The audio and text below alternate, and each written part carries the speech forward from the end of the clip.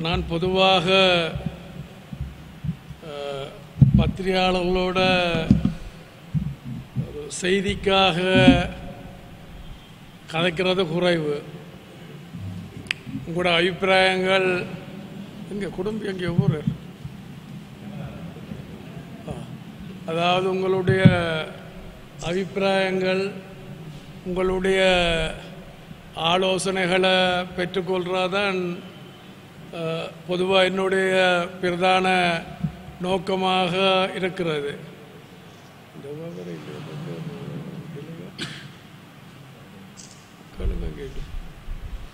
அதான் பொதுவாக என்னுடைய இதாக இருக்கிறது. இன்றைக்கும் அதே மாதிரி தான் என்றால் இப்போ ஒரு பரபரப்பாக கதைக்கிறேன் என்பதை விட ஒரு அர்த்தபூர்வமாக ஆக்கபூர்வமாக இருக்க வேணும் என்பதுதான் என்னுடைய எதிர்பார்ப்பு. ஆனால் உங்களுடைய எதிர்பார்ப்பு சிலவில் அதிலேருந்து வேறுபட்டதாக இருக்கலாம். உங்களுக்கு தெரியும் இப்போ கிட்டடியில் ஒரு தீர்ப்புண்டு அஞ்சு வருஷத்துக்கு பிறகு நீதிமன்றத்தால் ஒரு தீர்ப்பு. ஜாழ் மாவட்ட நீதிமன்றம் ஜாழ்ப்பாணம் இந்த தீர்ப்பு நீங்கள் கேள்விப்பட்டிருக்கலாம்ட்டு நினைக்கிறேன். என்ற இப்போ கடந்த காலங்களில் அரசியல் காரணங்களுக்காக சக அரசியல் கட்சிகளும் சக சில தமிழ் ஊடகங்களும் வந்து எங்கள் மேலே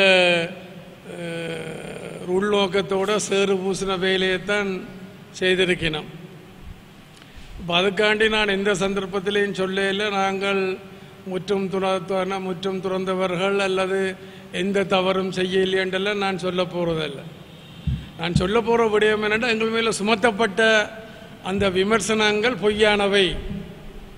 அதுக்கு இந்த நீதிமன்ற தீர்ப்பு ஒரு உதாரணமாக இருக்குது கிட்டத்தட்ட அஞ்சு வருஷம் அந்த வழக்கு நடந்தது. பொய் பிரச்சாரம் என்ற ஒரு வகையில்.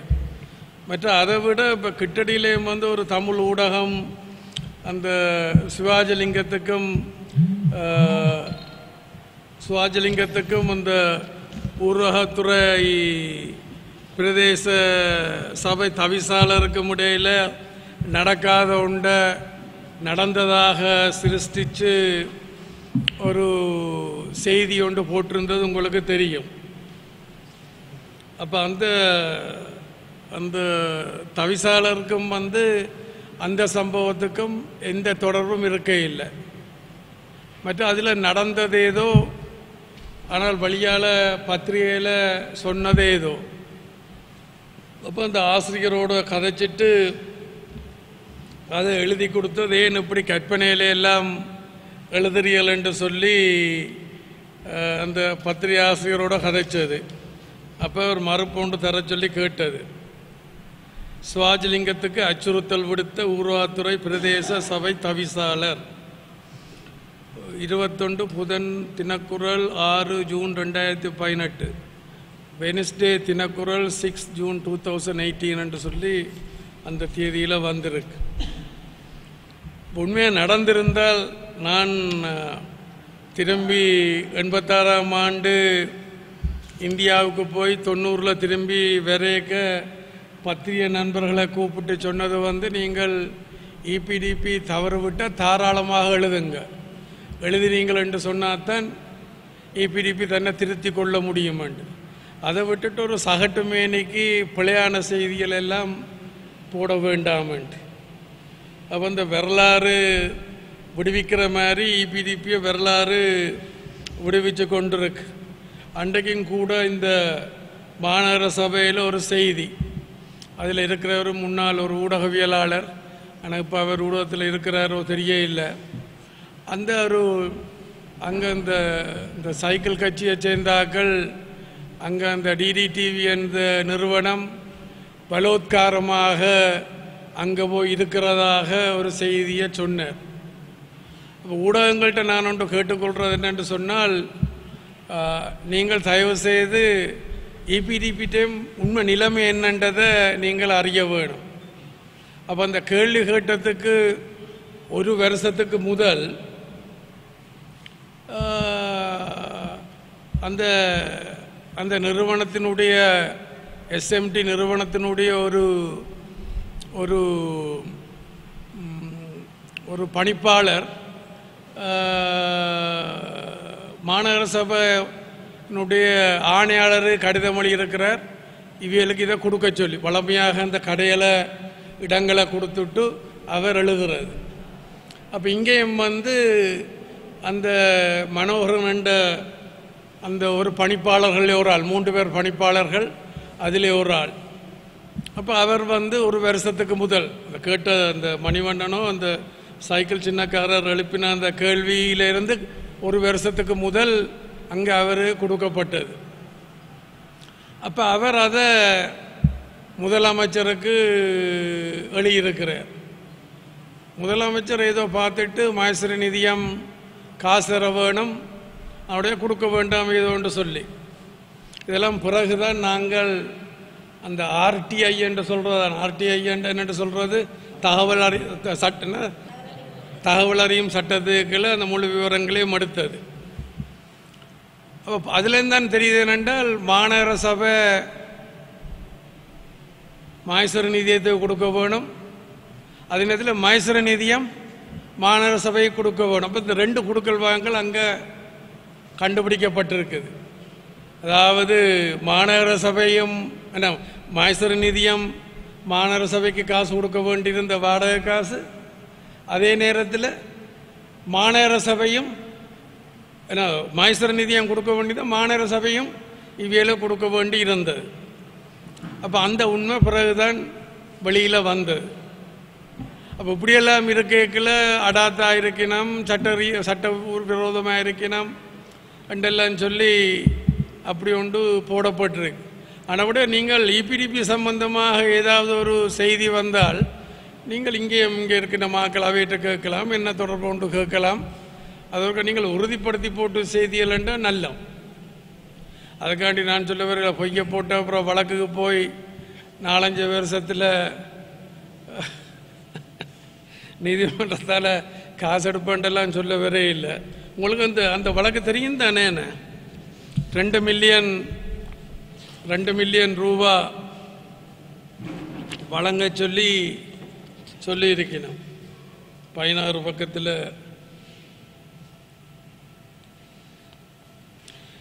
எனவே மேற்படி ஆராயப்பட்டதின் அடிப்படையில் ஏற்பட்ட அவமானத்திற்கு இரண்டு மில்லியன் ரூபாவினை எதிராளி வழங்க வேண்டும் என்று முழு தொகை செலுத்தும் வரை சட்ட வட்டி செலுத்தவும் வழக்கு செலவு செலுத்தும்படியும் மன்று தீர்ப்பளிக்கிறது. தீர்வை பதியும் தீர்வை பதிவும் தீர்வையின் பிரதியினை எதிராளிக்கு சேர்ப்பிக்கவும் என்று சொல்லி பதினாறு பக்கத்தில் கடைசி பக்கம் இதான் அந்த தீர்வு இது. அப்பதான் சொல்லி. இன்னும் அடுத்த ஒரு கேஸும் வரப்போகுது இப்போ. என்ன அடுத்த அடுத்த மாதம் இன்னொரு கேஸும் வர இருக்குது. அடுத்தது அப்போ என்னட்ட கேட்டுச்சுன்னா தினக்குரலுக்கும் இந்த சுவாஜலிங்கத்தின் சுவாஜலிங்கத்துக்கு அச்சுறுத்தல் விடுத்த ஊரகத்துறை பிரதேச சபை தவிசாளர் என்று சொல்லி ஒரு பொய்யான செய்தியை போட அப்போ இதுக்கும் நாங்கள் எங்களாக்களுக்கும் உசார் வந்துட்டுது. நீதிமன்றத்துக்கு போனால் எங்களுக்கு நீதி கிடைக்கும் நியாயம் கிடைக்கும் என்ற ஒரு ந- நம்பிக்கையும் வந்திருக்கு. சரி அது ஒரு பக்கம் இருக்கு. அப்போ அப்படி கன செய்திகள் கடந்த காலத்தில் இபிடிபியை பற்றி அரசியல் உள்நோக்கத்தோட சொல்லப்பட்டிருக்குது. அப்போ நீங்களும் அரசியல் பின்னணிகளோடு இருக்கலாம். இருந்தாலும் ஒரு ஒரு நேர்மை நியாயம் என்ற விஷயங்களும் இருக்குத்தானே. அதையும் நீங்கள் ஒருக்க பார்க்க வேணும். மற்ற இந்த இந்த கட்டிடத்துக்கும் வழக்கு போட்டது கேள்விப்பட்டியலோ தெரியல இந்த கட்டிடத்துக்கும் வழக்கு போட்டிருக்குது. உரிமையாளர் என்ற பேரில் வழக்கு போட்டிருக்கணும். நீதிமன்றத்தில் வழக்கு போட்டிருக்குது. அப்போ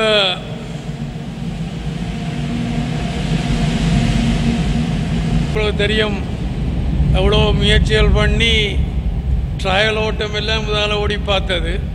மெதுவாக ஓடணுமெண்டெல்லாம் மக்களுக்கு சொன்னது. வேகமாக ஓடக்கூடாது மெதுவாக தான் ஓடணுமெண்டங்க இல்லாட்டி என்னென்ன அந்த ஆடு மாடுகள் ஆக்கலை. இந்த பழக்கம் இல்லை தானே ஆனால் நாம் இப்போ ஆட்சியில் இல்லாதபடி தண்டை பாட்டுக்கு அது ஓடுது. ஒரு தொல்லை கொடுக்குற மாதிரி கிடக்குது. இங்கத்த மக்களுக்கு நன்மைக்காண்டி தான் கொண்டு கொண்டு வந்தது. சரி. அப்போ பானபடியாக தயவு செய்து இப்போ உங்களுக்கு தெரியும் இப்போ கிட்டடியில் இந்த சாதனைகள் எனக்கு ஞாபகம் வர ட்ரெயின் சத்தம் கேட்க ட்ரெயினை பற்றி ஞாபகம் வந்தது. எனக்கு கிட்டடியில் முன்னாள் முன்னாள் துணைவேந்தர் எனக்கு ஒரு செய்தி ஒன்று போட்டிருந்தா அதாவது யாழ்ப்பாண பல்கலைக்கழகத்தினுடைய முப்பது வருடத்துக்கு மேற்பட்ட யாழ் பல்கலைக்கழக சமூகத்தினுடைய சமூகத்தினுடைய அபிலாசைகள் நிறைவேற்றப்பட்டிருக்குது. அதுக்கு உங்களுக்கு நன்றி. நீங்கள் எடுத்த முயற்சியால் தான் அதாவது உங்களுக்கு அந்த பேராசிரியர் துர்ராஜா ஆண்டு கேள்விப்பட்டிருப்பீர்கள். அப்போ எழுபத்தி எட்டாம் ஆண்டிலிருந்து அவருக்கு ஒரு அவற்றை இதில் ஒரு அபிலாசைண்டு வந்தது. அது ஆக்கள் கதைக்கிறதும் அரசியலுக்காண்டி கதைக்கிறதும் விடுறதும் அப்படி இருந்தது. முப்பது வருஷத்துக்கு பிறகுதான் இப்போ அன்றைக்கு பொறியியல் துறையிலிருந்து முப்பத்தி மூன்று பேர் தங்களுடைய கல்வியை முடித்து வெளியேறி இருக்கணும் அப்போ எனக்கு அவ ஒரு எஸ்எம்எஸ் ஒன்று போட்டிருந்தா இப்படி உங்களுக்கு தான் அந்த நன்றியை தெரிவிக்க வேணும் என்று சொல்லி.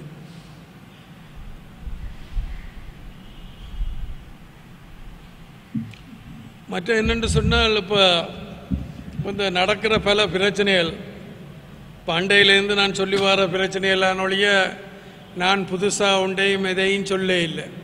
அதாவது இந்த தமிழ் தலைமைகள் தமிழ் தலைமைகளுடைய தவறுகள் தான் எங்கட மக்களுடைய துன்பங்கள் துயரங்கள் இடம்பெயர்வுகள் அழிவுகள் இழப்புகளுக்கு காரணமே ஒழிய நான் வேறு எங்கேயும் பார்க்க இல்லை. இப்போ பார்த்தீங்கிறண்டால் ஒரு இந்த முகநூலில் ஒரு செய்தி முல்லைத்தீவு மாவட்டத்தில் ஒரு பட ஒரு கேர்னல் தரத்தில் இருக்கிறவர் இடம் மாறி போயக்கில் எல்லாம் அழுது குளறி பல்லக்கில் எல்லாம் ஏற்றி வந்ததாக ஒரு செய்தி. அப்போ அதுக்கு சாதகம் பாதகம் எல்லாம் இருக்குது.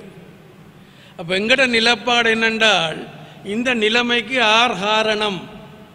இந்த சூழலை ஏற்படுத்தினதார் சரி ஒரு ஒரு யுத்தம் ஒன்று வந்து அதாவது இந்த விடுதலை போராட்டம் எண்பத்தி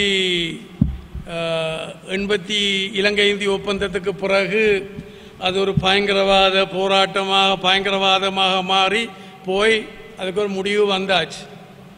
அதில் எங்கட மக்கள் நிரம்ப பாதிப்புகளுக்கு உட்பட்டிருக்கணும்.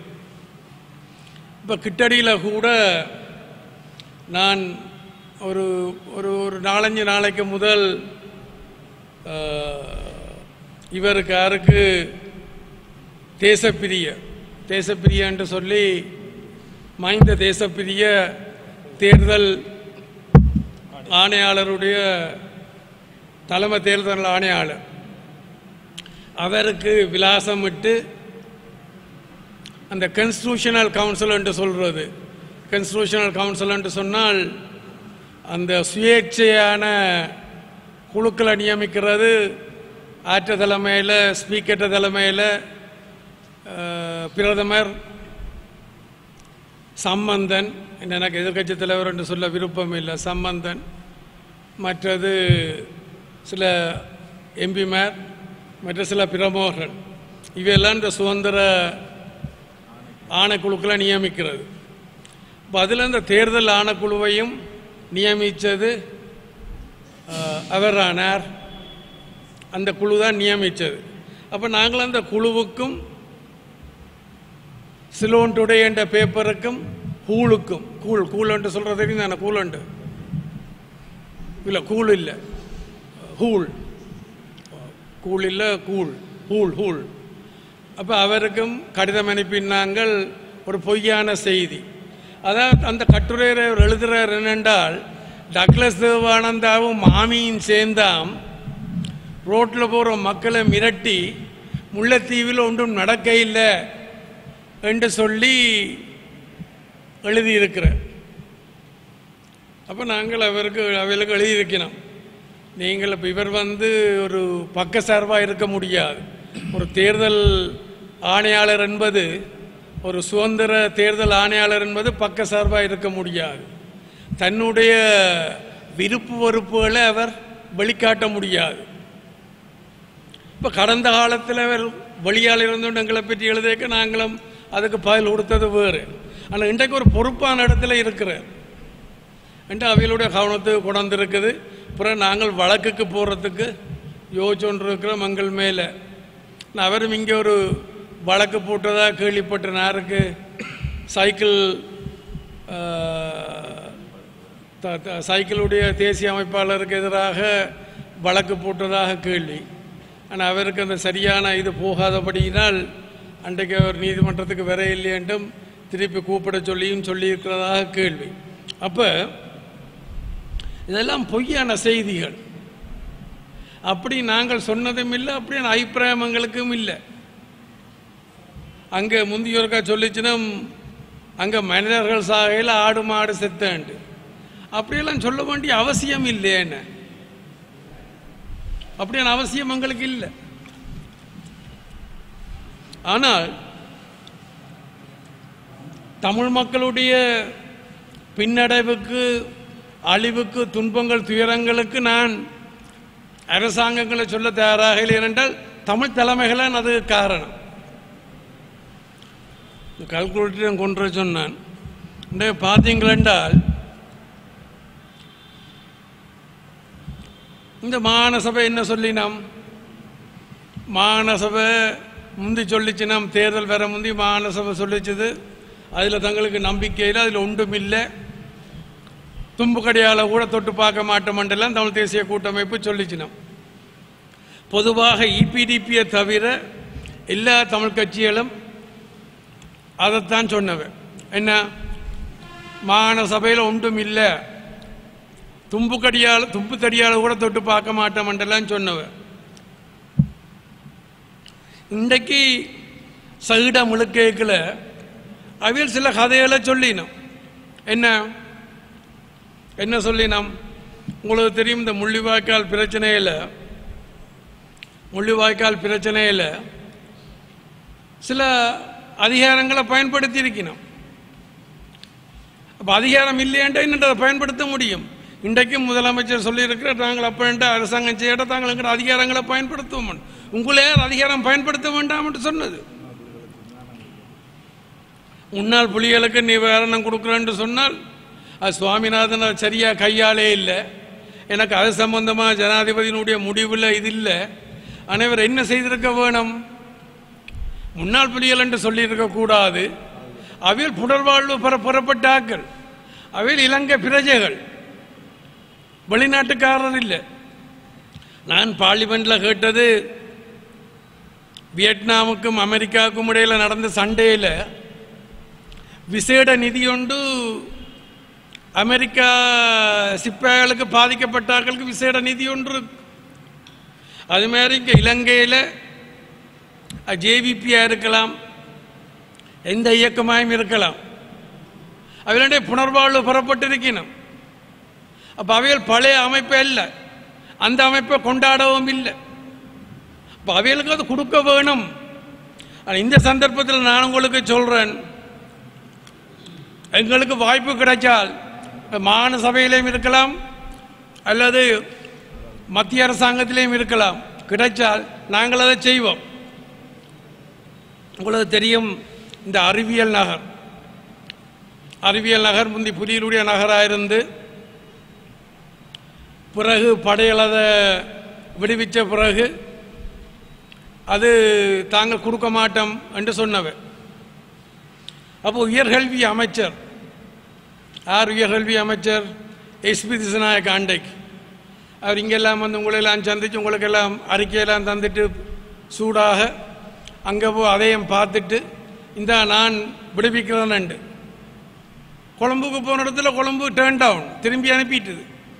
ஆனால் அடுத்தடுத்த மாதம் அதை நாங்கள் பெற்றுக் கொடுத்துனாங்க அப்போ அந்த கூட்டத்தில் பொது கூட்டத்தில் சனாதிபதி என்ன சொல்கிறார் அந்த சனாதிபதிக்கும் அன்றைக்கு விசேடமாக நாடாளுமன்றத்தில் நன்றி சொன்னேன் அதாவது யாழ் பல்கலைக்கழகத்தினுடைய பல்கலைக்கழக சமூகத்தினுடைய முப்பது வருஷ அபிலாசைய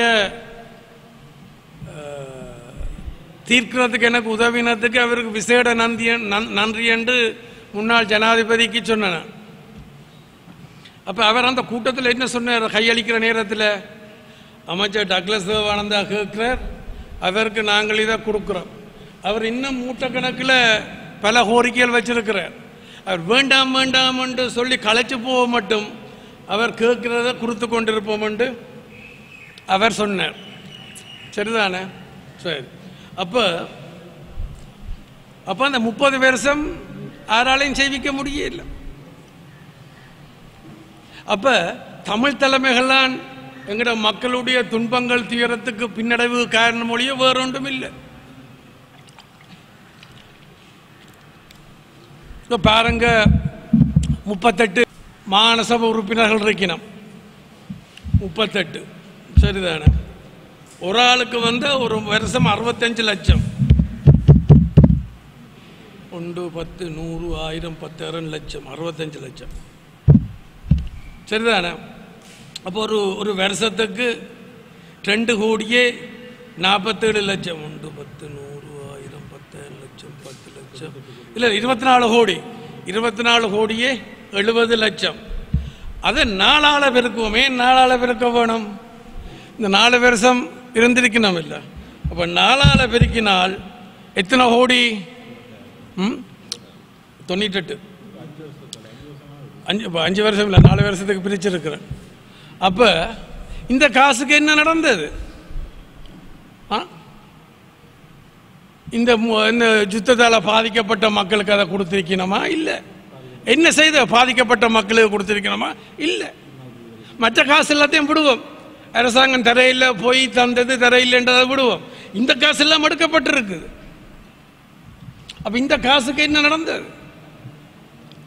ஆ? இல்லை இல்லை கேட்டு கேட்டோன்று இருக்கிறீங்களான்னு கேட்டு. சரி. அப்போ ஒன்று பத்து நூறு ஆயிரம் பத்தாயிரம் லட்சம் பத்து லட்சம் கோடி பத்து கோடி. தொண்ணூற்றெட்டு கோடியே எண்பது லட்சம். அப்போ அப்படி கன விஷயங்கள் இருக்குது. மற்றது இப்போ இன்றைக்கு முதலமை ஆ? விலங்கையில் கேட்க கேட்க இருக்கோ? நல்லது. நல்ல ஒரு இதோண்ட தந்திருக்கிறீர்கள் வேலையோண்ட சரி. அப்போ இன்றைக்கு அதில் ஒன்றும் இல்லை. அரசாங்கம் காசு தர இல்லை. அதிகாரம் இல்லை என்றால் பிரேம் திருப்பி போட்டி போட வர வேணும். அதாவது யார் அதில் நம்பிக்கை உள்ள ஆக்களோ யாருக்கு அதன் மேலே ஆற்றல் இருக்குதோ அவைகளுக்கு தான் அது போக வேணும்.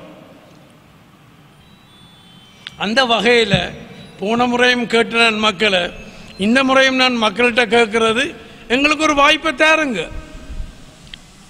எங்களுக்கு ஒரு வாய்ப்பை தந்து பாருங்க. எங்களுக்கு சந்தர்ப்பம் கிடைச்ச நேரத்தில் நாங்கள் கன விஷயங்களை செய்திருக்கிறோம்.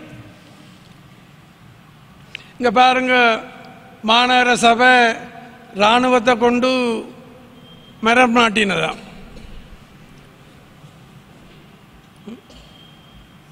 எங்களுக்கு ராணுவம் இந்த வேலையில் ஈடுபடுற எங்களுக்கு பிரச்சனை இல்லை ஆனால் எங்கிற தொழிலாளர்கள் பாதிக்கப்படக்கூடாது. அவைகளுக்கு தான் அந்த வெறுவா போய் இருக்க வேணும். அவையில தான் நாங்கள் வளர்த்தெடுக்க வேணும்.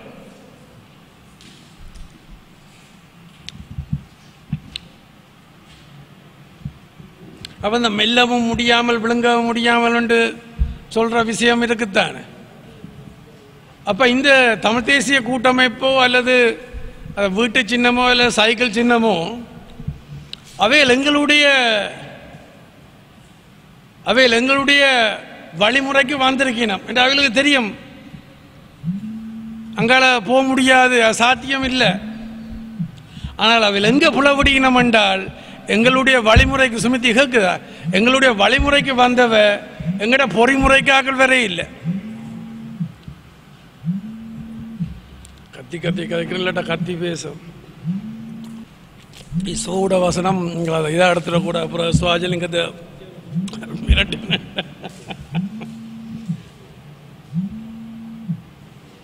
அப்போ எங்களுக்கு ஒரு சம்பந்தம் தான் எங்களுக்கு ஒரு சந்தர்ப்பத்தை கொடுங்க. நாங்கள் தான் வடிவாக செய்து காட்டுவோம். எங்களுக்கு வாய்ப்பு கிடைச்ச நேரத்தில் விரலுக்கு தக்கின வீக்கமாக நாங்கள் அதை செய்திருக்கிறோம். அப்போ இன்னொரு சந்தர்ப்பம் கொடுங்க. மூன்றுலேருந்து அஞ்சு வருஷத்துக்குள்ள வடமாகாணத்தில் பாலந்தேனும் ஓடும். என்ன மூடித்தீர் தேவையில்லை ஆ. பாலந்தேனும் ஓடும். வடமாகாணத்தில் பாலந்தேனும் ஓடும். என்றால் எங்களுடைய உணர்வு. எங்களுடைய அக்கறை. பட் எங்களுக்கு இருக்கக்கூடிய ஆற்றல். அதை நான் சொன்னேன் ஆரம்பத்தில். நான் சும்மா ஒரு அரசியலுக்காண்டி சும்மா அரசியல் இதுக்காண்டி நான் ஒன்றும் இது பண்ண வரையில் உங்களோட அபிப்பிராயங்கள் ஆலோசனை கேட்கறது தான் முக்கியம். நியமனம். ஏன் பிடிக்கிறீர்கள் மஸ்தான் ஒரு பிரச்சனையா இல்லை. ஆனால் மதங்களுக்கிடையில் முரண்பாடு அல்லது இடைவெளி வராமல் பார்த்து கொள்ள வேணும்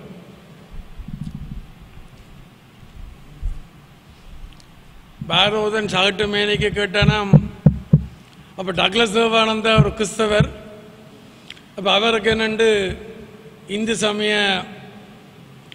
இது கொடுக்கலாம் நீங்கள் மனதுக்கு யோசிக்கிறது நான் ஒரு கேள்வி எடுத்து விட்டுருக்கேன் ஆனால் உங்களோட உங்களுக்கு தெரியும் நம்மட காலத்தில் இந்த கோயில்கள் எல்லாம் புனரமைப்பை அவர் இன்னும் திட்டி கொண்டிருக்கிற தங்களோட கோயிலுக்கு நம்ம ஒன்றும் தரையில்லையாண்டு. அப்போ வன்னி உட்பட இவ்வளோ பேருக்கு அந்த கோயில்களை புனரமைச்சது அஞ்சு வேளை பூசைக்கு இது பண்ணினது செய்தது. ஆனால் அதே நேரத்தில் மற்ற மதங்களுக்கும் புனர்வாழ்வு அமைச்சுக்குள்ளால கணக்கை செய்திருக்குது. பழைய இதுகள். அப்போ மஸ்தான் பிரச்சனை அல்ல. ஆனால் அந்த அது ஒரு ஒரு ம மதங்களுக்கு இடையில் ஒரு முரண்பாட்டை வளர்க்குற மாதிரி இருந்துடக்கூடாது. அப்போ இது சம்பந்தமாக சனாதிபதிக்கு அதை நாங்கள் உடனடியாக எடுத்து சொன்னோம். அப்போ அவர் சொன்னார் இல்லை அது கெசட் பண்ண இல்லைன்ட்டு. அவர் விளங்கிட்டது. ஏமத அப்படின்ட்டு சொன்னார் அது கெசட் பண்ணே இல்லைன்ட்டு அப்போ அப்போ இந்த ம மதங்களுக்கிடையில் அப்போ நான் இந்து கலாச்சார அமைச்சராயம் அமைச்சராயும் இருந்தது புனர்வாழ்வு அமைச்சராயும் இருந்தது. அப்போ அந்த இந்து சமயத்துக்கு நாங்கள் யாரும் செய்யாத செய்திருக்கிறோம். பிறகு மயில் ஆடுதுன்ட்டு வான்கோழி வந்து ஆடிச்சது. என்ன செய்துச்சு நாம்? பத்து லட்சம் செக் எழுதுவது கோயிலுக்கு. அப்புறம் அங்கே போய் எட்டு லட்சத்தை திருப்பி எடுத்தது. அது மயில் இது மயில் அது வா ஏன்னா வான்கோழி. மயிலாடுதுன்ட்டு வான்கோழி ஆடுறன்னு சொல்லி நின்றோம் அப்போ கடந்த காலத்தில் எங்களுக்கு கிடைச்ச அதிகாரங்கள் அந்த அதிகாரங்களை நாங்கள் அந்த விரலுக்கு தக்கின வீக்கமாக நாங்கள் கணிசமாக பயன்படுத்தி இருக்கிறோம் பயன்படுத்தி இருக்கிறோம் அதுக்காண்டி இப்போ தவறெல்லாம் விடையில்லைன்றெல்லாம் நான் சொல்ல போகிறதில்ல தவறுகள் சுற்றி காட்டப்பட்டால் அது நான் பிடிச்ச முயலுக்கு மூன்று ஆள் என்று நான் சொல்ல போகிறதில்ல நான் தவறென்றால் நான் அதுக்கு பரிகாரம் காணுவேன். அதுக்கு பாவ மன்னிப்புக்கு கேட்டுக்கொள்ளுவேன். அது என்னுடைய வெளிப்படையான இது.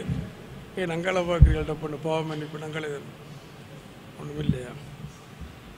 அப்போ மற்ற உங்களுக்கு தெரியும் இந்த வடமராட்சி பிரச்சனை. வட வடமராட்சி பிரச்சனையில் நாடாளுமன்றத்தில் அந்த பிரச்சனை எழுப்பினது. அதாவது வேறு பிரதேசத்தை சேர்ந்தாக்கள் அத்துமீறி வந்து எங்களோட வளங்கள் அவ- அபகரிக்கணும் அதுக்கு இடம் கொடுக்கக்கூடாது என்று நாங்கள் எடுத்து நாங்கள். ஒரு கேள்வியும் எழுப்பியிருக்கிறேன் எனவே அதுக்கு பதில்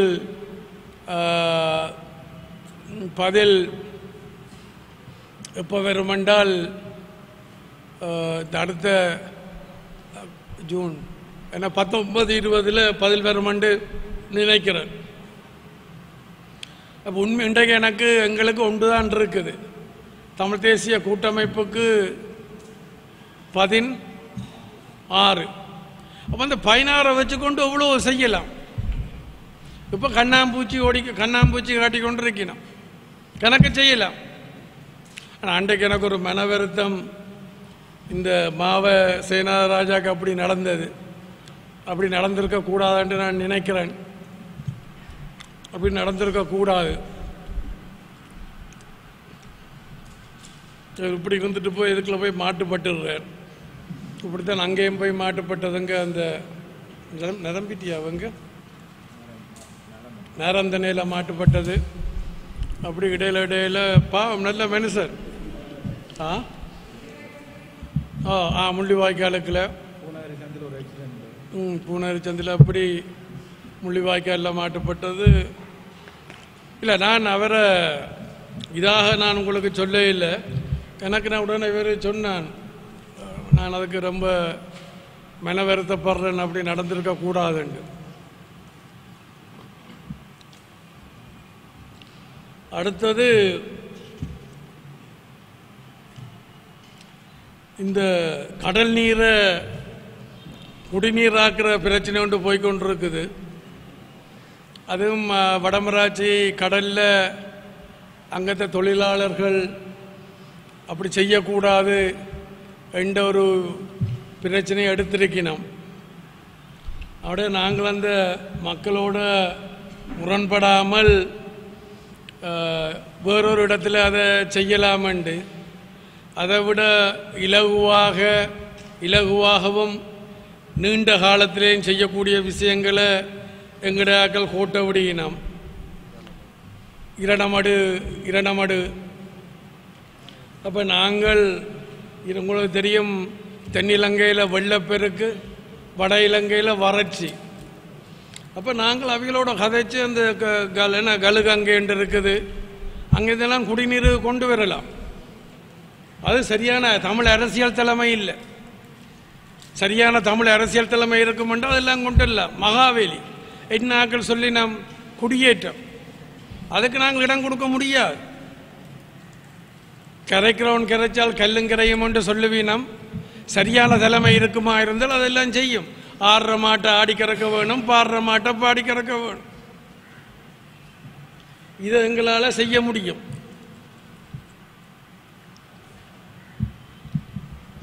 அப்போ அந்த குடிநீர் திட்டம் எங்கட மக்களுக்கு தேவை. ஏனென்றால் இங்கத்த நிலத்தடி நீர் மாசடைஞ்சிருக்குது. கொண்டு இந்த இங்கத்த இதுகள் அந்த மலக்கழிவுகள் அந்த பிரச்சனைகள் இருக்குது.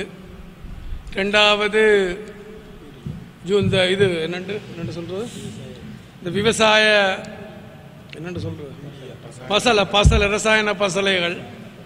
மூன்றாவது உபரிநீர் இதுகள் எல்லாம் இருக்குது. மற்ற சனத்தொகை கூட. ஆனால் அப்படி என்று சொல்ல முடியாது ஏனென்றால் யுத்தம் தொடங்கும் வந்து இங்கே கிட்டத்தட்ட எட்டு லட்சம் பேர் இருந்தது. அது உண்மையாக யுத்தம் அண்டு வந்திருக்காவிட்டால் இன்றைக்கு குறைஞ்ச ஒரு பதினஞ்சு லட்சமாவது இங்கே இருக்க வேணும். சரி. அப்போ அன்னபடியே ஒரு சுத்தமான குடிநீர் அவசியம். அப்போ என்னென்னா நான் முதல்ல உங்களுக்கு சொன்னது போல தமிழ் மக்களுடைய இன்னல்களுக்கு துன்பங்கள் துயரங்களுக்கெல்லாம் தமிழ் தலைமைகள்லாம் காரணம். என் குடும்பியோ அவர் காரணம் ஒன்று வச்சுட்டார் ஆ? ஃபோனில் வைக்கிறாரா. சரி. மற்ற இந்த ட்ரோலர் அதுக்கு முடிவு காண வேணும். மற்றது போராளிகள் முன்னாள் போராளிகள் என்ற வகையில் அவைகளுக்கு இப்போ உங்களுக்கு தெரியும் அவைகளோடு நான் எவ்வளவு அவையில் அன்னைக்கு அவையோட தலைமையோட ஒரு காரசாரமான விமர்சனத்தை நான் வச்சிருந்தது. நான் எந்த சந்தர்ப்பத்திலையும் அவைகளை தேடி போனது கிடையாது. ஆனால் காரசாரமான விமர்சனம். மக்களையும் அழித்து தங்களையும் அழிக்க போயினோம் என்றதை நான் அன்றைக்கு அன்றைக்கு சொன்னான். மக்களையும் அழித்து தங்களையும் அழிக்க போயினோம்ன்றதை அன்றைக்கு நான் சொன்னேன். ஹலோ சரி. அன்றைக்கு நான் சொன்னேன். மக்களையும் அழித்து தங்களையும் அழிக்க போயினோம் எது நடந்ததோ அது நன்றாகவே நடந்தது. எது நடக்கின்றதோ அது நன்றாகவே நடக்கின்றது. எது நடக்க இருக்குதோ அது நன்றாகவே நடக்கும் மக்கள் மனசு வச்சால். அப்போ இன்னொரு ஓ சரியானாக்களை மக்கள் தெரிவு செய்வினமாக இருந்தால் அது நடக்கும். அப்போ எங்கட வழிமுறைக்கு வந்த சக தமிழ் கட்சிகள் எங்களுடைய பொறிமுறைக்கு வர முடியாமல் திணறிக்கொண்டு திண்டாடிக்கொண்டு இருக்கினோம் மெல்லவும் முடியாமல் விளங்க முடியாமல் இருக்கினோம். இப்போ திருப்பியும் சர்வதேசமா? இந்த சர்வதேசம் என்ன செய்ய போகுது? முள்ளி வாய்க்கால்லங்கிற மக்கள் அடிப்படைக்கு இந்த சர்வதேசம் என்ன செய்தது? அழுதும் பிள்ளை அவளே பெற வேண்டும் என்பது போல நாங்கள்லாம் எங்கட பிரச்சனைக்கு தீர்வு காண வேணும். எனக்கு நம்பிக்கை இருக்கு எங்களால் தீர்வு காண முடியுமாண்டு. இன்னொரு அஞ்சு வருஷத்துக்கு மக்கள் அந்த சந்தர்ப்பத்தை எங்களுக்கு குடிப்பினமாக இருந்தால் நாங்கள் அதை செய்து காட்டுவோம். அஞ்சு வருஷத்துக்கு அப்புறம் எனக்கு அரசியலில் இருக்கிற நோக்கம் இருக்காதுன்னு நினைக்கிறேன். ஒதுங்குற நோக்கம் இருக்குது. இந்த மக்கள் விரும்ப இல்லைன்ற அப்புறம் என்னத்துக்கு அதில் இருக்க வேணும். ம். சரி. இனி உங்களுடைய டைம் என்ன சாய்ஸ் உங்கள் இப்போ இந்த அரசாங்கம் சொல்லுவது விஞ்ஞானபூர்வமான அமைச்சரவையிலண்டெல்லாம் சொல்லினோம். ஆனால் எனக்கு அதில்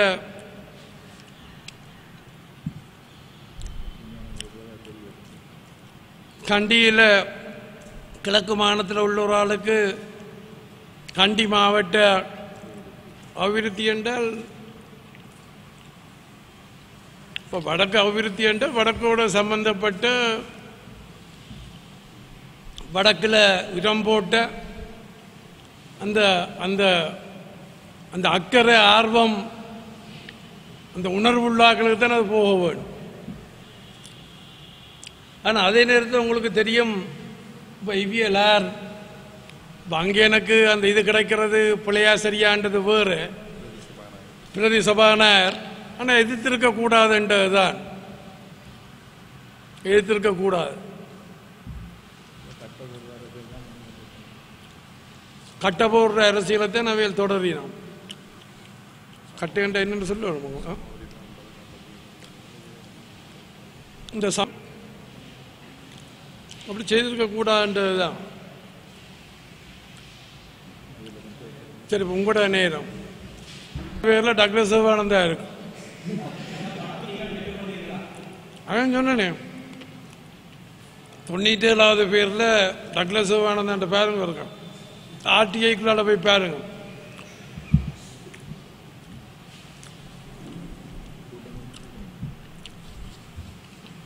எங்கள் மேலே சக அரசியல் கட்சிகளால் தமிழ் ஊடகங்களால் எவ்வளவோ சோறு பூசினது. ஆனால் எத்தனையோ விசாரணையிலெல்லாம் நடந்துட்டுது. ஒன்றும் காண கிடைக்கல வேணென்றால் அப்படியான சம்பந்தங்கள் எங்களுக்கு இல்லை. கொழும்புல அந்த இருபத்தொரு பாடசாலை மாணவர்களே நம்ம தலையில் போட்டாங்க. அன்றைக்கெல்லாம் தெரிய வருது என்ன சரி நீங்கள் கேட்க வந்து நீங்கள் சொல்லுங்கள் கட்டாயம் கட்டாயம். கிளம்புறங்க நான் தானங்க வர போகிறேன் உங்களுக்கு அந்த நம்பிக்கை இல்லையா? உங்களுக்கு நம்பிக்கை இல்லையா? இல்லை இல்லை உங்களுக்கு கேட்குற நம்பிக்கை இல்லையா? அது? இபிடிபி வீண.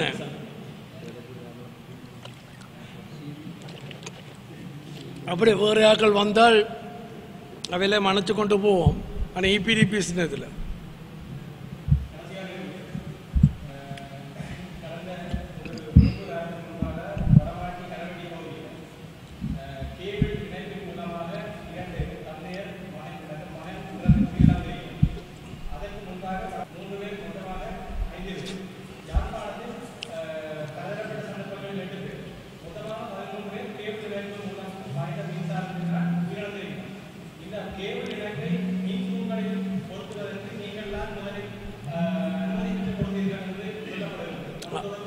நீங்களே சொல்லி போட்டியெல்லாம் சொல்லப்படுகிறது. அப்படி அல்ல. எனக்கும் அதுக்கும் சம்பந்தம் இல்லை ரங்குறேன்டா தரையில் இருக்குங்கிறங்கிறதுனா தரையில் இல்லை இருக்கு. ஆ? ஆ.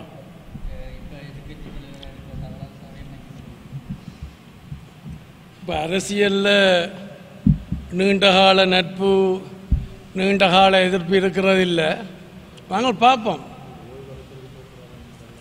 பார்ப்போம் இப்போ கன பேர் இருக்கு நம்ம அங்கே இப்போ கோணாளன் இருக்கிறார். கோணாளன்ட்டு இந்த ஒரு டேன் டிவி அரசியல் கட்சி. அவர் இருக்கிறார். மற்றது வரதாய பெருமாள் இருக்கிறார் சந்திரகுமார் இருக்கிறார் சு ஸ்ரீதரன் இருக்கிறார் மற்றது தவராசா இருக்கணும் கணவர் இருக்கணும் அந்த நேரத்தில் அதை பற்றி பார்க்கலாம். எங்களுக்கு யாரோடையும் சேர்ந்து போகணுமென்ற நோக்கமோ விருப்பமோ இல்லை. உங்களுக்கு தெரியும் தொண்ணூற்றி நாலாம் ஆண்டில் இருந்து முதல்ல தொண்ணூற்றி நாலில் களத்தில் இறங்கினது. அப்போ இறங்கினு சொல்லலாம். அப்போ அண்டையில் இருந்து தனித்து போகத்தான் நாங்கள் கூட முயற்சி பண்ணினது. சில வேளையில் நாங்கள் ஆட்சியாளர்களோடு சேர்ந்திருந்தாலும் அவைகளுடைய தேர்தல் விஞ்ஞாபனத்தை நாங்கள் வெளியிடுறே இல்லை. எங்களோட கட்சிக்குரிய தேர்தல் விஞ்ஞாபனத்தை தான் நாங்கள் வெளியிட்டு வந்த நாங்கள் உங்களோட உங்களோட பத்திரிகை என்ன உதயம். எனக்கு யார் மேலேயும் காழ்ப்புணர்ச்சி அல்ல. ஆனால் இருந்துட்டு முஸ்பாத்திக்கு அப்படி இப்படி கதைச்சு கொள்றது.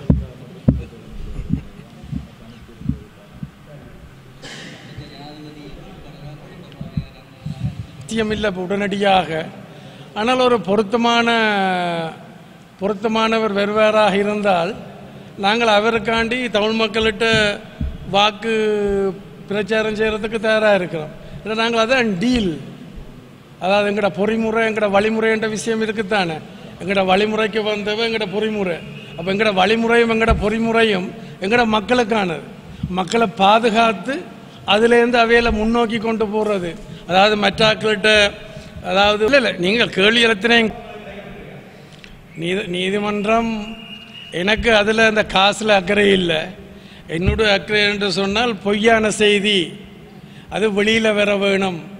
என்றதான் என்னுடைய நோக்கம் ஒழிய மற்ற எனக்கு அந்த காசுன்ற பார்க்க எனக்கு அது போதாது. நான் அப்பீல் கோர்ட்டுக்கு போகிறேன் நான் கேட்டது அஞ்சூறு மில்லியன் கிடைச்சது ரெண்டு மில்லியன் அப்போ இவன் எனக்கு அனுர அனுர என்ன அனுர திசநாயக்கா சொன்னால் தனக்கு தனக்கும் கிடைச்ச எவ்வளோன்னு கேட்டால் ரெண்டு லட்சம் உண்டு.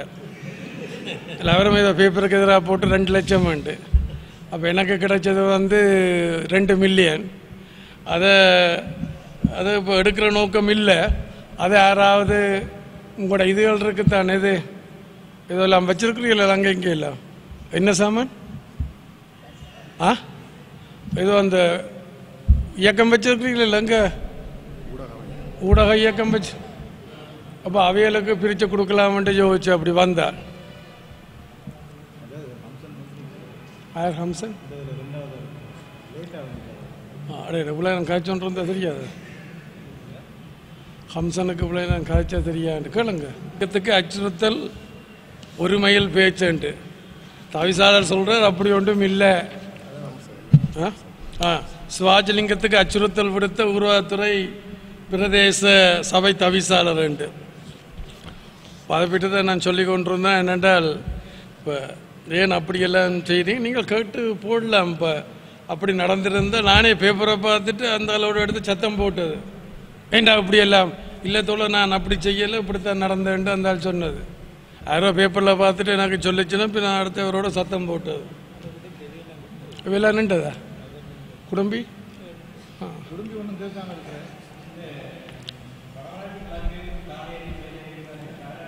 ஓ.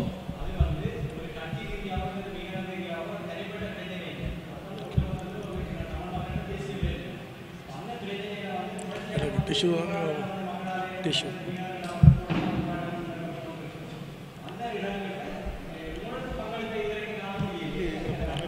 நான் முதல் காட்சி நான் உங்களுக்கு கேட்க இல்லை போல நான் சொன்னது. அதான் செயல்பாடு இல்லையென்று சொன்னீங்களே.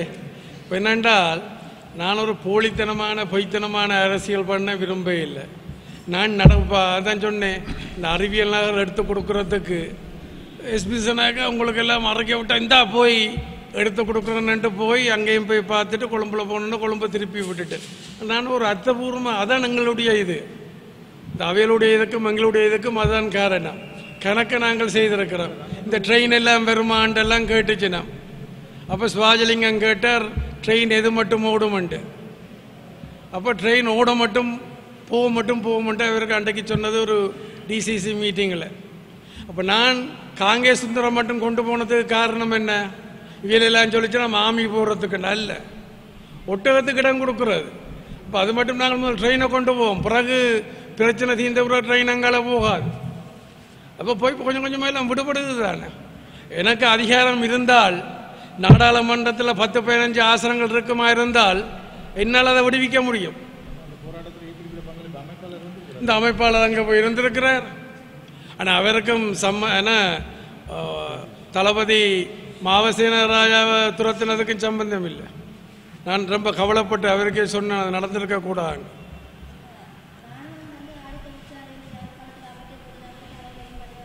ஓ. அது இப்போ என்னட்ட இல்லையே அந்த பொறுப்பு? இப்போ என்னட்ட இருந்திருந்தால் அந்த வேகத்தோடயே நம்மளோட ஆட்சி போயிட்டுது. கடை உங்களுக்கு அவ்வளோ இது பண்ணி செய்தேன்ட்டு. ஆ? உண்மையாக அதெல்லாம் நான் தொடர்ந்து இருந்திருந்தால் இன்றைக்கு தம்பி சக்தி இன்றைக்கு காங்கேஸ் நான் தொடர்ந்து இருந்திருந்தால் காங்கேசுந்தர து- துறைமுகத்தில் இந்தியாவிலேருந்து பொருட்கள் எல்லாம் வந்து இறங்கி இருக்கும். பலாளியை திருத்தி இருப்போம் அதால் என்ன நடக்கும்? ஆயிரக்கணக்கான ஆட்களுக்கு வேலை வாய்ப்பு கிடைச்சிருக்கும் நிரம்ப வருமானம் கிடைச்சிருக்கும் இலகுவான பொருட்களில் எங்களோட மக்களும் பொருட்களை பெற்றிருப்பினோம்.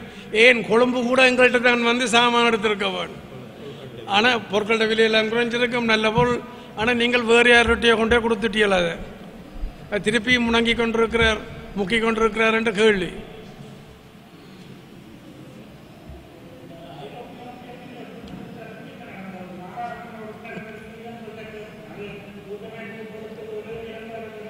இதுதான் தொடர்ந்து போகுது. இன்னும் இன்னும் ஒரு இன்னும் ஆகுன்னு ஒரு ஆறு மாதம். நீங்கள் செய்தியாக போட்டு விட்டுறாங்க ஒரு பிறப்பு நான். ஆட்சி இந்த ஆறு மாதத்தில் மாறுதுன்னு சொன்னாண்டு. அப்படி சொல்லி போடாதீங்க. அங்கேயும் கொழும்புக்கும் இந்த செய்தியை கொடுத்துடாதீங்க அப்புறம் இந்த காலத்து போயிடும். அப்போ இப்போ என்ன இந்த ஆட்சி ஒரு இதெல்லாம் இருக்குது இது ஒரு ஈடாட்டத்தில் இருக்கேன் அந்த ஒரு உரேக்கில் நான் அப்பயே உங்களுக்கு சொன்னேன் நான். ஒரு உரேக்கில் ரெண்டு வாள் இருக்க முடியான்னு உங்களுக்கு சொன்னேன் நான். ரெண்டாவது இன்னொன்றும் ஆரம்பித்து அப் நீண்ட காலமாக சொல்லி கொண்டு வாரன். எந்த அரசாங்கம் ஆட்சிக்கு வந்தாலும் முதல் ஆறு மாதம் அல்லது ஆகுன்னு ஒரு வருஷத்துக்குள்ள பிரதான பிரச்சனைகளுக்கு தீர்வு காணாவிட்டால் அது ஆறு நகஞ்சி பழங்கஞ்சி இப்போ நீங்கள் சொல்லுங்கள் குடும்பி சொன்ன சொல்லுங்கள் குடும்பி என்ன சுப்பினார் கேளுங்க கேளுங்க. ஆ? ஆ சரி சரி சரி. ஆனால் சொன்னதை பார்த்தால் கேள்கள்ன்ற மாதிரி கிடந்தது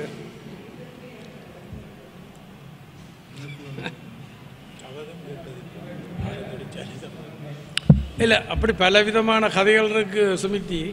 பலவிதமான கதைகள் இருக்குது. ஆனால் உண்மையாக அதுக்கெல்லாம் வெங்கடாக்கள் விடக்கூடாது. தமிழ் தலைமையில் விடக்கூடாது. அவைகளுக்கு என்ன கிடக்குது? இங்கே ஆட தொழிற்சாலை போடுறதுக்கு. அதுக்கெல்லாம் விடக்கூடாது. இப்போ நான் இந்த உசுப்பேத்துற மாதிரி அரசியல் கதைக்கிறதில் ஒரு அர்த்தபூர்வமாகத்தான் செயல்படுத்த வேணுமென்றதில் தான் அதான் அவர் கேட்டார் அந்த வடமராட்சி இதை பற்றி கேட்டார். அப்போ எங்களுக்கு அதை என்ன மாதிரி கொண்டு போகணுமென்று தெரியும். அந்த வகையில் கொண்டு போய் கொண்டிருக்கிறோம்.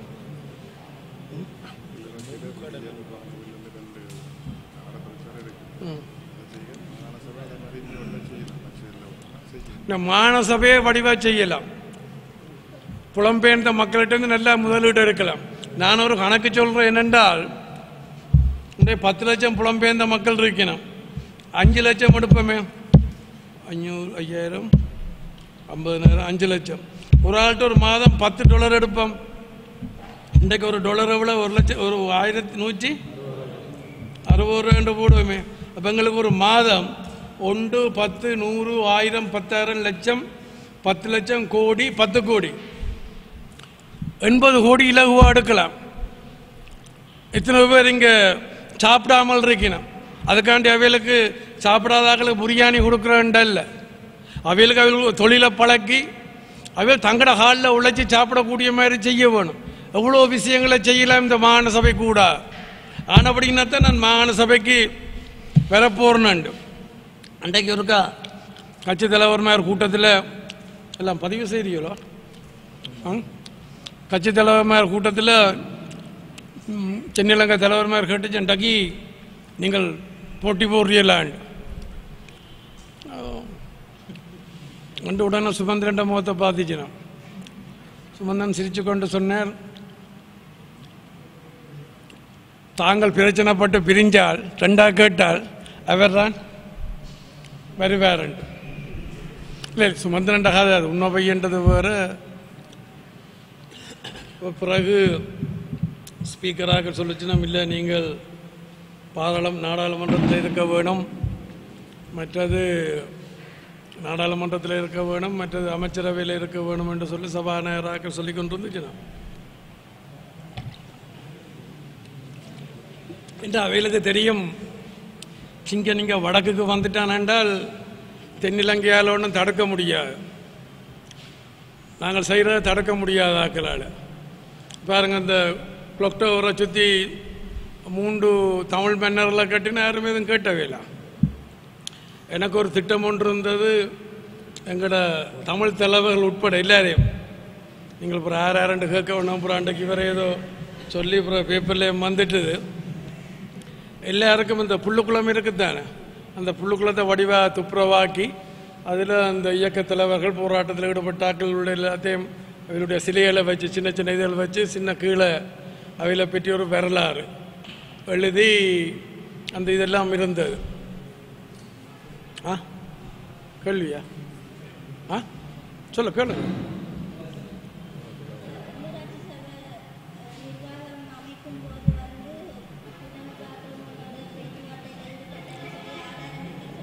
நானும் நானும் அதுக்கான காரணம் சொல்லு. ஆ? ஓ.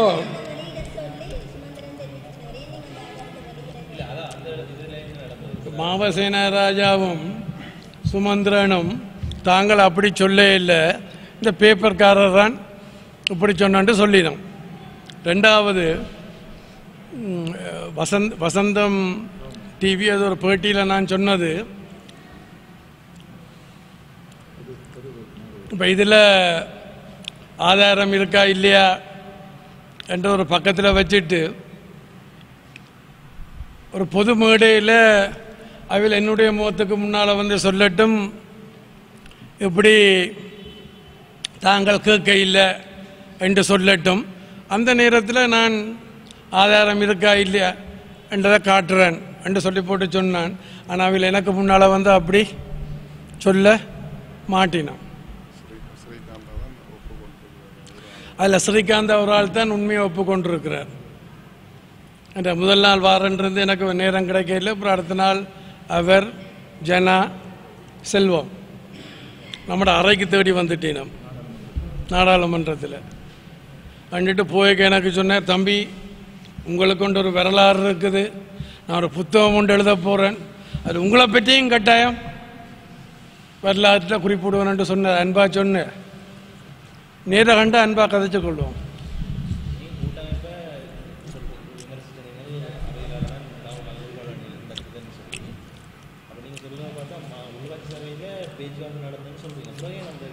அதான். இதுவரை இது வேற இது வேற கோயம்புரம் முக்கியமான ஒரு கேள்வி.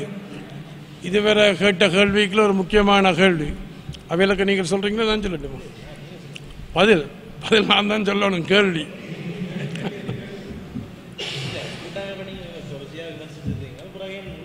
இன்றைக்கும் இன்றைக்கும் விமர்சிக்கும். ம். ஏனென்றால் வடைய போடுவோம்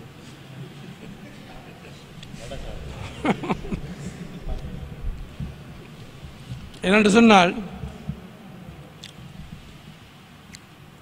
இந்த உள்ளூராட்சி சபைகளுக்கு நீண்ட காலமாக மக்கள் பிரதிநிதித்துவம் இல்லாதால் அந்த பகுதியைச் சேர்ந்த மக்கள் நிரம்ப பாதிக்கப்பட்டுட்டீங்க. அப்போ இங்கே இங்கே அதை பற்றி கோவிக்க நீங்கள் சாப்பிடல? ஆ?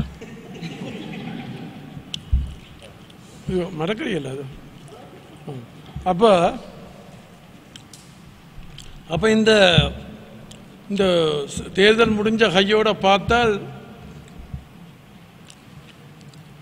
கூறாத்துறையில் இபிடிபிக்கும் பூநகரியில் வீட்டுக்கும் கிடைச்சது. மற்ற இடமெல்லாம் தொங்கு நிலை. இந்த நிலையில் நாங்கள் அரசியல் பண்ண விரும்ப இல்லை. யார் ஆட்சி அமைக்க முன்வரியினமோ ஆர் எங்கள்கிட்ட கேட்கினமோ ஆர் அமைச்சு அமை ஆட்சி அமைக்க முன்வரியினமோ எடுக்கிறீங்க. யார் ஆட்சி அமைக்க முன்வரியினமோ யார் எங்கள்கிட்ட கேட்கினமோ அவைகளுக்கு நாங்கள் ஆதரவளிப்போம். நிபந்தனையற்ற ஆதரவளிப்போம் தான் சொன்னது. வெளிப்படையாக சொன்னது. இங்கே நாளைக்கு உங்கள் எல்லாருக்கும் முன்னாலேயும் நான் சொல்லியிருக்க வேணும்.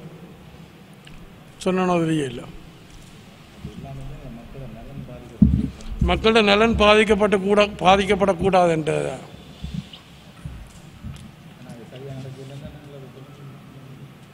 ஆனால் ஆ சொல்லுங்க சக்தி.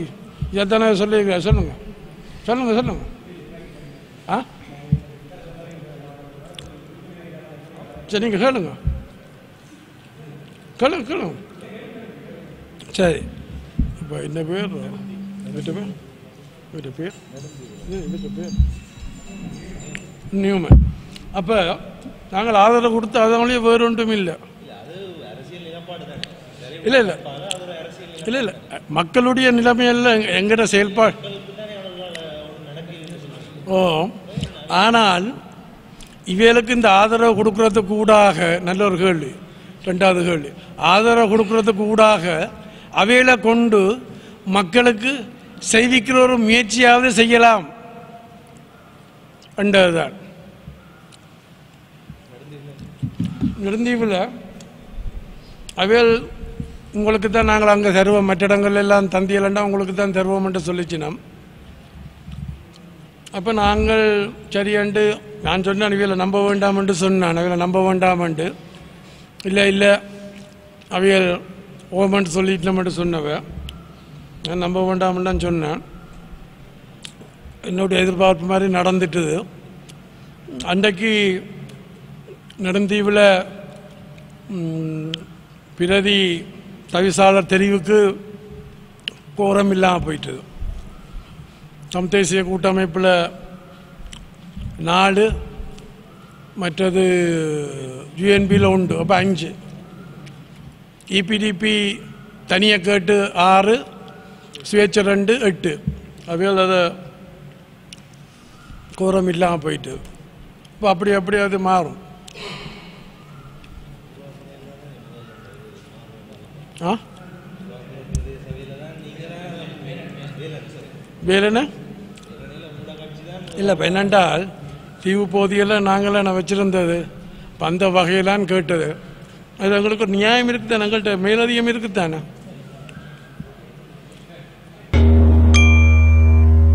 தமிழர்களுடைய நிலைமையை நீங்கள் வளர்ந்து வருகின்ற இளைஞர்களுக்கு சொல்ல வேண்டியவர்களாக இருந்து கொண்டிருக்கிறீர்கள். இந்த நாட்டில் நீண்ட காலமாக இந்த நாட்டிலே சுதந்திரம் அடைந்ததன் பிற்பாடு